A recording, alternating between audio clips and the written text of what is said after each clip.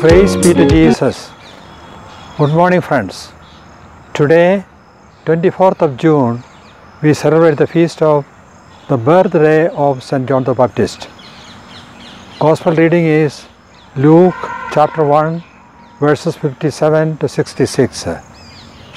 Only three birthdays are celebrated in the church. Christmas, the birthday of Jesus on 25th of December.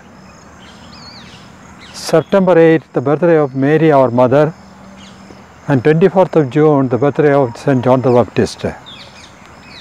Jesus was born immaculate, Son of God. Mary, our mother, from the very beginning of her inception, was immaculate, and she was born without original sin.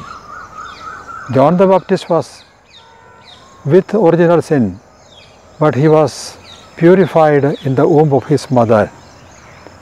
Mary, our mother, after the Annunciation, carrying Jesus in her womb, came to the house of Elizabeth and Zachariah.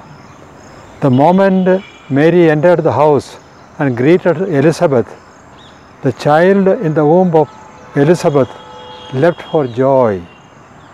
Elizabeth was filled with the Holy Spirit, and John also was filled with the Holy Spirit through Mary, our mother, and thus he was purified. So he was born without sin, although in his inception he had the original sin. Mary, our mother, became an instrument in bringing the Holy Spirit to several people, to the family of Zachariah and, and Elizabeth, to the child John in the womb of Elizabeth. John was filled with the Holy Spirit, so he grew up as a man of God.